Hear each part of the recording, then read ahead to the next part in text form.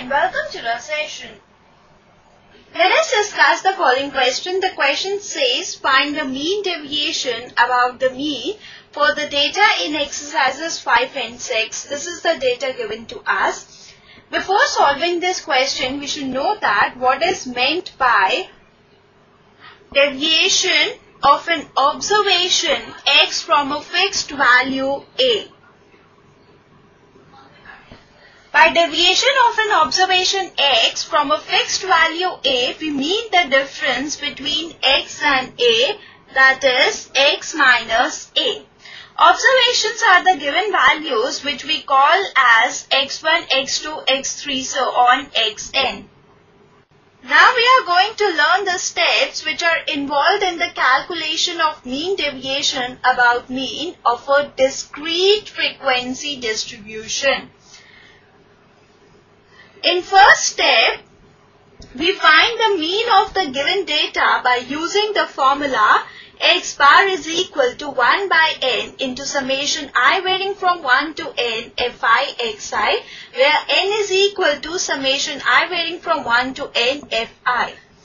In the second step, we find the deviation of each xi from x bar that is x1 minus x bar, x2 minus x bar, so on xn minus x bar. In the third step, we find the absolute value of each deviation that is drop the negative sign if it is there. That is mod of x1 minus x bar, mod of x2 minus x bar, so on mod of xn minus x bar. In the fourth step, Find the mean of the absolute values of the deviations. This mean is the mean deviation about mean.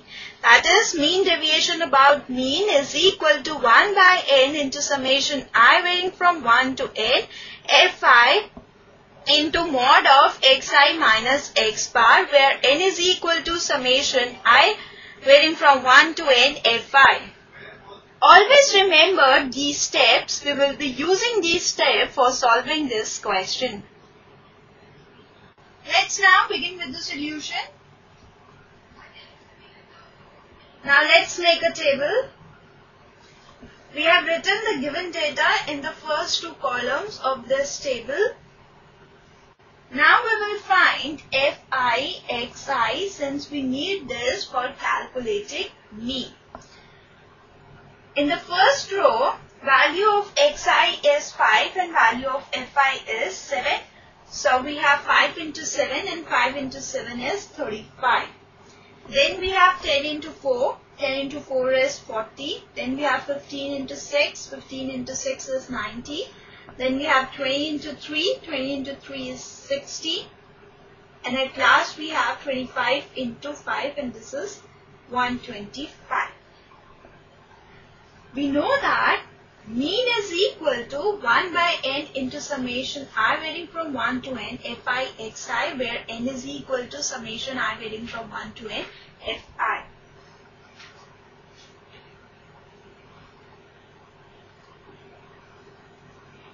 So let's first calculate n. n is equal to summation i varying from 1 to n now here n is 5 as the number of observations is 5 fi. This is equal to 7 plus 4 plus 6 plus 3 plus 5. This is equal to 25. So sum of all these frequencies is 25. Now we will find summation i varying from 1 to 5 fi xi.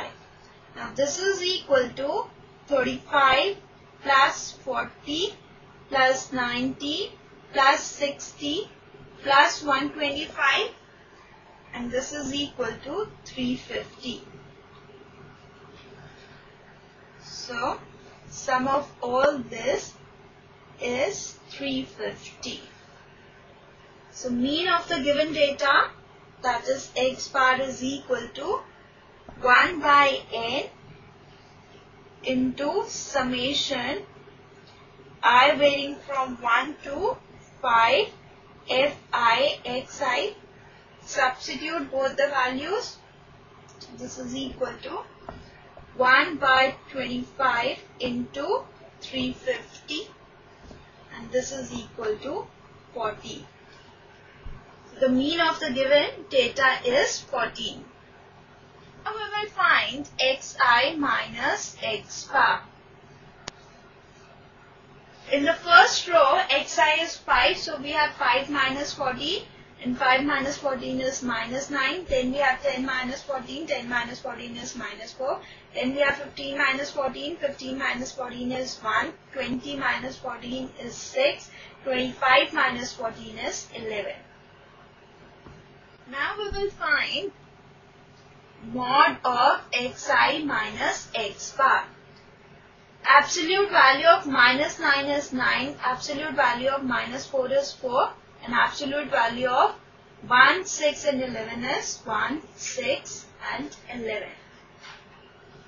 Now, in the last column, we will find fi into mod of xi minus x bar.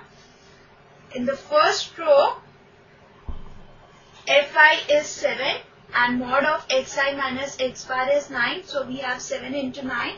7 into 9 is 63. Then we have 4 into 4. 4 into 4 is 16.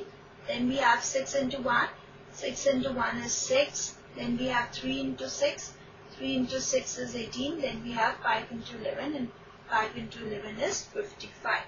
On adding all this, we get 158. So summation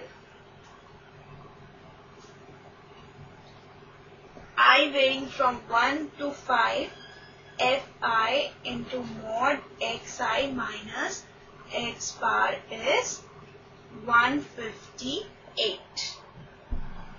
Now required mean deviation about mean is equal to 1 by n into summation i varying from 1 to 5 fi into mod xi minus x bar. This is equal to 1 by 25 into 168 sorry 158